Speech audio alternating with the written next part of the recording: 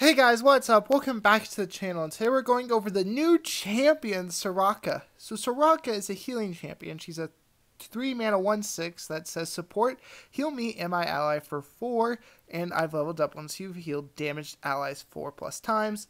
And her leveled up form says support fully heal my me and my ally instead of just heal for 4. And the first time you heal a damaged ally each round, draw 1. So Soraka herself feels like a pretty good card. She's basically Braum, um, with better stats that cost one less, but she doesn't have Challenger, and she also has a pseudo heal, or regen, I mean, uh, where she can't heal at the end of the round, so she can't block, but she heals when she attacks. Um, that's pretty strong. Uh, it's not as strong as regen for sure. It heals twice or half as much. I mean, but overall, the fact that she can level up pretty easily and then she starts drawing you cards for the deck is going to be very powerful. The heal deck is very the heal deck is very good at stalling out the game. It's a lot like Priest from Hearthstone, uh, except it's more unit based than Hearthstone is. Um, Legends just uh, in particular just happens to be a more unit based game.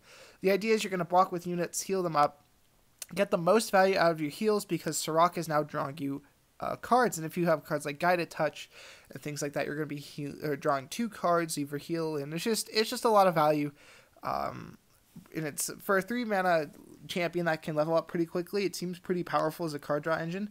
Overall, she doesn't really have a finisher, and that's where the spring from our last uh, reveals comes in. The spring will win you the game, and so you're probably going to be playing a spring combo deck where you're using Soraka to level it up pretty quickly and drawing extra cards um, to stall out the game until you get that combo win, which seems like exactly what the deck wants to do, and it feels pretty powerful. Um, it looks like a very well constructed deck already, and um, although Soraka doesn't really have a lot, a huge impact, not nearly as big of an impact as Braum because it doesn't have Challenger and its attack stat is um, low already. Um, with all the Targon cards, I can give it extra power, um, and even just the good support cards, some regions like Bilgewater and Freljord that we've already seen. I, I feel like it's going to be very hard for this deck to be bad. It feels very strong. Um, her champion spell is fully heal uh, all damaged allies, and uh, it's three mana. So this, uh, I assume this is going to be a normal card. It's just going to be wish, or so, it's probably still going to be so. The normal card will be Wish. This is Soraka's Wish because it's her champion spell. So you're probably not main decking this. It feels like um. Oh, what's that one card called? I don't remember, but it just it just heals uh all damaged allies, right? Uh, with Soraka, that probably would level her up, which would be pretty good. But even that, the three mana slow speed to level her up seems like redundant when she can already heal two allies, herself and another one, which is already half of her level up trigger. And all you need to do is play like a guiding touch in combination uh, with one other heal, and you've already got the level up. So I don't really feel like Soraka's Wish is going to be necessary. And if it's not necessary, then the deck probably doesn't feel like running it. Now, it could get you a very interesting win with uh, the Spring which uh, especially because Soraka is a card draw engine, you're probably gonna be drawing double of her. So I'm not saying it's a bad card. It's probably just not very good in the main deck. Although I can definitely see an argument for it because of how uh, the spring works, how you're going to want to heal a ton. The next card is Astral Protection, a 4 mana burst speed. Heal an ally and grant it plus 4 health. So with this card, you're going to be healing something for 4, healing it, and then giving it extra health. So it's basically a heal 6 because you're never really going to heal for well, the, for the full four unless in very specific situations. Maybe Soraka or even Tahm Kench needs to heal uh, five because it's at one or something, and you can do this and heal eight.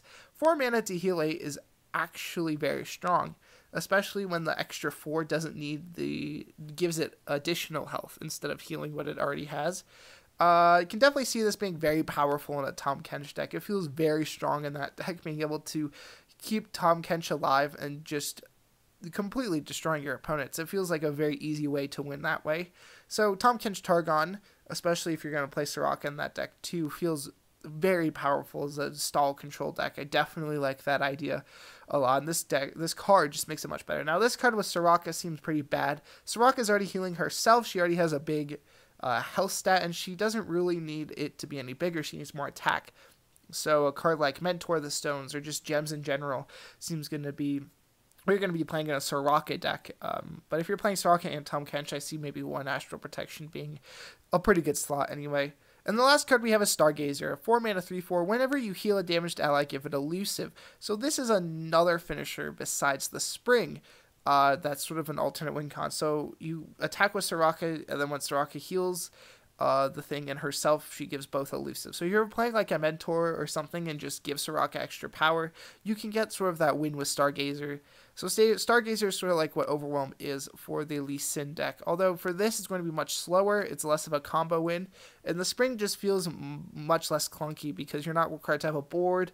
Um, although technically you are, but you're you're you're less required to have a large board. You're less required to have attack stats, and especially in a healing deck, we're gonna be playing cards like uh, Broadbacked Protector with low attack and high health stats. I don't really feel Stargazer is the correct finisher.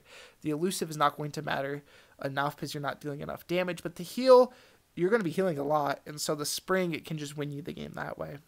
So anyway, guys, I hope you enjoyed. Soraka seems pretty great for a stall card. I mean, just healing, healing, healing, drawing cards, and it just seems like a very good deck. I hope you guys enjoyed, and make sure to check out my next video. And with that, guys, I'll see you in the next one. Bye.